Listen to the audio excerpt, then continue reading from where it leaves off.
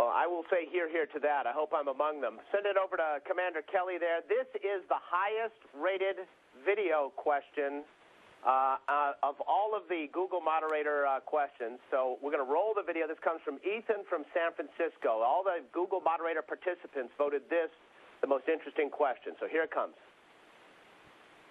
I know Commander Kelly's wife, Representative Giffords, is has really worked hard on solar policy in Congress and led by example, installing panels on her roof in Tucson. I was hoping to get the crew's thoughts not just on solar power, but the power of space exploration to really challenge ourselves and develop new technologies that not only enable space exploration, but also benefit everyone back at home. Yeah, great question. So that's one, you know, one of the it's, it's one of the interesting things about when you do something that's really, really hard, like traveling in, in space. Um, getting off the planet and into Earth orbit and going to the moon are very difficult things to do. And when you do something like that and you push technology forward, you get a lot of a lot of benefits.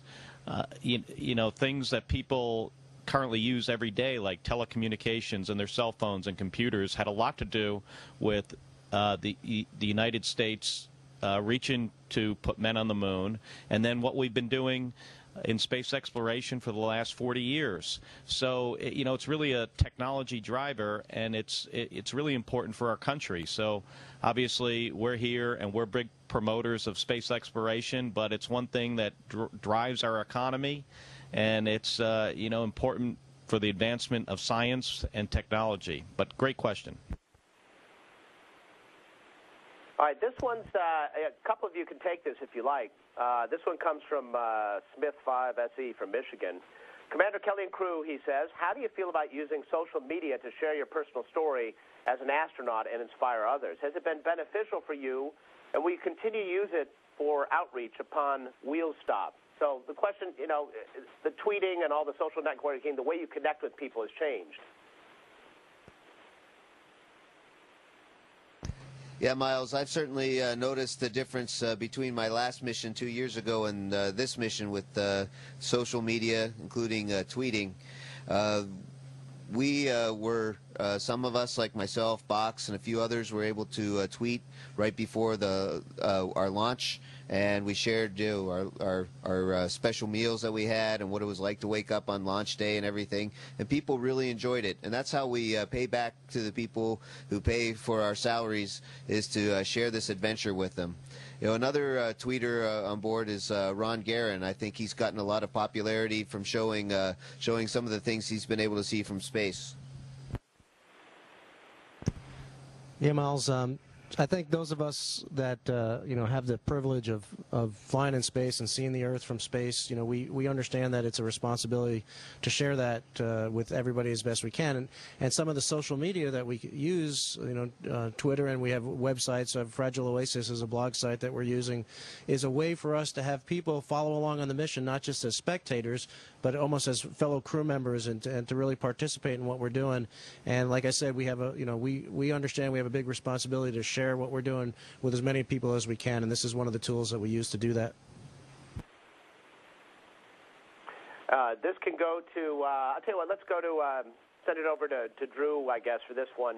Um, this one comes from Florida on YouTube. When you're in orbit, do you have to make a lot of maneuvers due to satellites, space debris, and other stuff?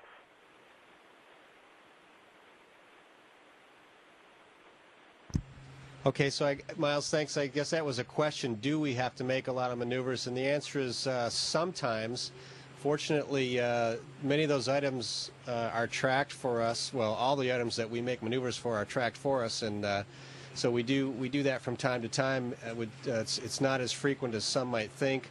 Obviously, the bigger danger for us is items that are not tracked, and that's especially true for uh, for spacewalkers. So it's something we think about. But uh, fortunately, uh, many of those uh, issues are taken care of by the ground control teams that are watching out for us. All right, send it over to Box there. Greg Johnson, this one comes from DJ Admiral on YouTube. What kind of internet connection do you get up there? Is it fast? Any restrictions? Uh, wink, wink. What's the IP range of visits from outer space? Uh, good question, DJ. Um, as shuttle guys, we really don't uh, partake in the internet. We've got uh, synchronizations with our emails. Uh, kind of gives us a pseudo e- email uh, or pseudo internet uh, to communicate with our families and friends and our associates. However, I'm going to pass this to Ronnie because on the station, I believe that they have uh, a better internet than we do on the shuttle.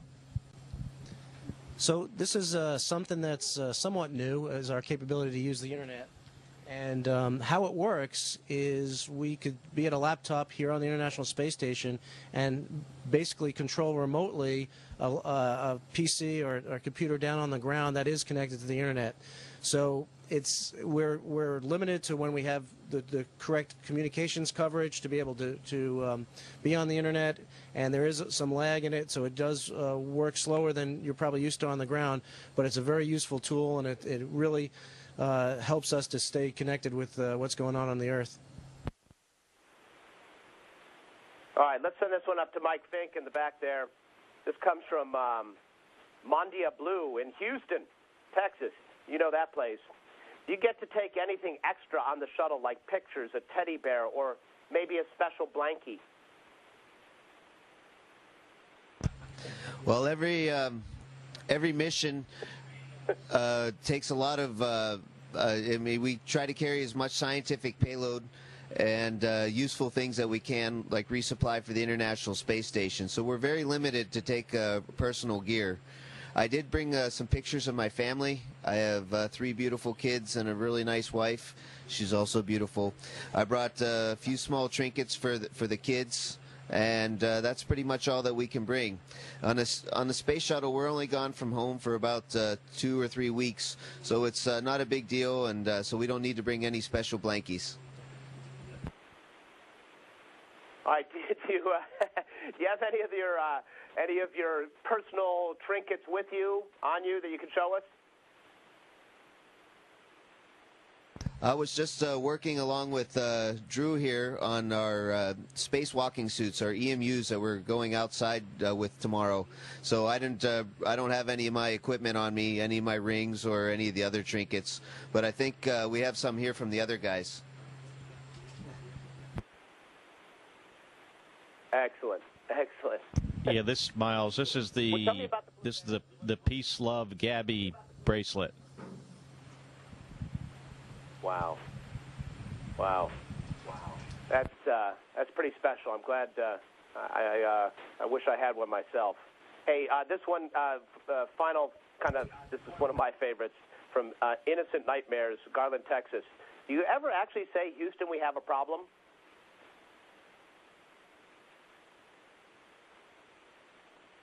You know, if we had an issue, we would just normally call the ground with Houston Endeavour, and then we would talk about our problem.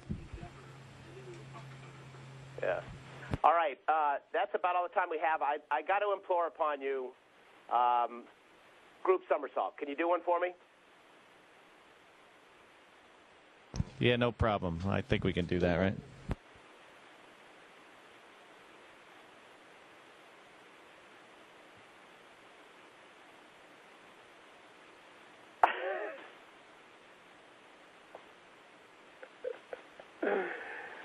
That's certainly not uh, as graceful as it could have been. That's why we usually hesitate to do those, but it's uh, certainly fun to do. Well, I got to say, uh, at least you're having some fun up there. You're not going to the Olympics with that. Keep keep the day jobs, guys, or night jobs on this mission.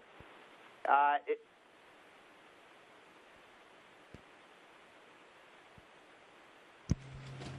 yeah, Miles, and I'll uh, I'll send you one of these bracelets. I, I would like one. Thank you to all of you very much. Appreciate your time. I know you got a busy mission ahead. You got the spacewalk ahead, and thanks to all of you for your time uh, and uh, to be a part of this, and for watching us and sending us such terrific questions. You can see portions of this interview on the PBS NewsHour and the entire interview on the NewsHour's YouTube channel. For everyone at Google, YouTube, and the PBS NewsHour, and Space Shuttle Endeavour and ISS, I'm Miles O'Brien. Station Endeavour, this is Houston ACR. That concludes the event.